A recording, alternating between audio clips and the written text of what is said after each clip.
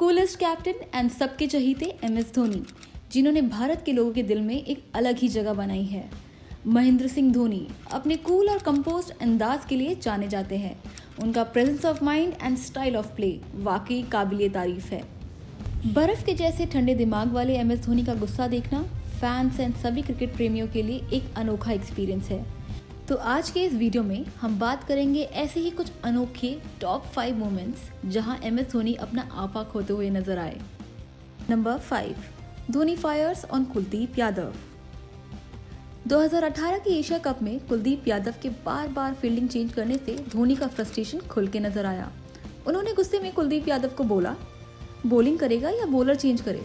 Number four when Dhoni points finger at Billy Bowden साल 2018 के match के दौरान, जब धोनी ने ऑस्ट्रेलियन प्लेयर माइकल हसी की स्टंपिंग कर दी तो on field umpire, third umpire का सिग्नल देते हैं चूँकि धोनी काफ़ी कॉन्फिडेंट नज़र आते हैं। बट स्क्रीन के रिप्ले में साफ़ साफ़ नज़र आता है कि वो क्रीज के अंदर ही थे, लेकिन फिर भी उनको आउट करार दिया जाता है। माइकल हसी को फ़ील्ड से जाता देख, बिली बोर्डन उनको भाग के वापस बुलाते हैं और थर्ड अंपायर की गलती के बारे में बताते हैं। ये देख के एम एस धोनी काफ़ी नाखुश नज़र आते हैं और बॉर्डन से काफ़ी देर बहस भी करते हैं। Number three M S Dhoni को आया मनीष पांडे पे गुस्सा। साल 2018 में साउथ अफ्रीका के खिलाफ पिच पे मौजूद मनीष पांडे और एम एस धोनी अपने पार्टनरशिप से कई रन बटोर रहे थे। ठीक कुछ टाइम बाद साउथ अफ्रीका अपने फील्डिंग्स पे कुछ चेंजेस करते हैं। तभी एम एस धोनी मनीष पांडे से कुछ डिस्कस करना चाहते थे, लेकिन क्या था? मनीष पांडे ने तो किसी की नहीं सुनी। और अपने ही धुन में खेलते हुए नज़र आए। ये देख के धोनी ने गुस्से में मनीष को कुछ अब शब्द भी कह डाले। इस इंसिडेंट के बाद मानो सोशल मीडिया में हड़कम मच गई और कई सोशल मीडिया मीम्स आज भी फ़ेमस है। Number two Dhoni against Mustafizur Rahman.